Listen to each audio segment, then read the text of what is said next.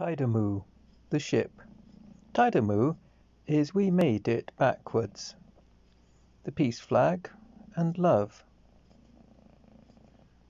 It's all gone too far, our world, really, hasn't it? So I decided to do something about it. I'm an artist.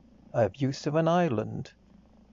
On this island, I'm going to build a 300 foot pyramid with three stages one very large stage, one small stage, and one sky stage right at the top. There'll be a wind turbine, there'll be solar panels, and on this island I will broadcast 24 hours a day a message of help, new leadership, new ways of doing things. Our world, as it is, has a system that is toxic.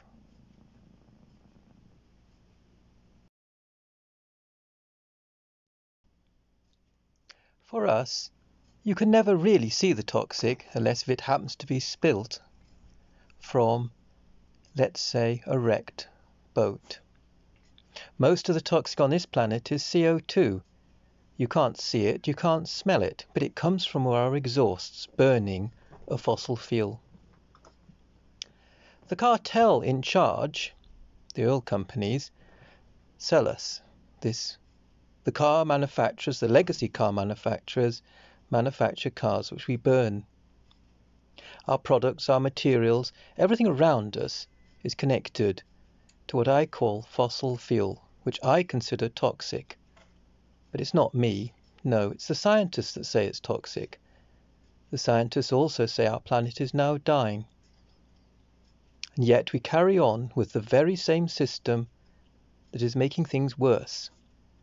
We're in the midst of mass extinction. Strange, isn't it, really, when you look around here? But we are.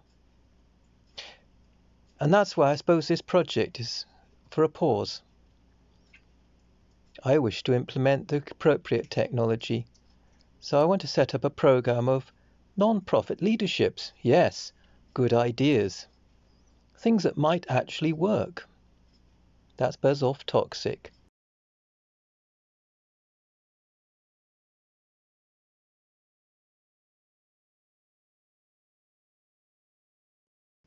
So this is my story, and so thank you very much. Subscribe to my Twitter account, my Facebook. Join me as a friend. Join me on this journey.